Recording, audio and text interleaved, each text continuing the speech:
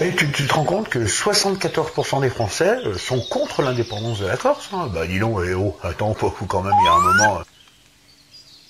Je sais pas s'ils sont vraiment tous... Moi, personnellement, je pense qu'un peu d'indépendance, beaucoup d'indépendance, euh, ça leur... Non Hein?